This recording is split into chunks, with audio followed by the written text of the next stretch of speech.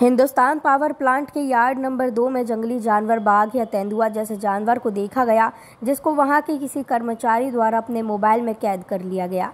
जिसकी जानकारी Hindustan power plant के अन्य अधिकारियों को लगी। इसकी जानकारी वन विभाग के कर्मचारियों को दी, जहाँ वन मंडल के deputy ranger R S Sikarwar व अन्य कर्मचारियों द्वारा गुरुवार की सुबह पावर प्लांट के अंदर जाकर आसपास परिक्षेत्रों में रेस्क्यू किया। उस परिक्षेत्र में कोई जानवर समाचार लेके जाने तक नहीं मिला।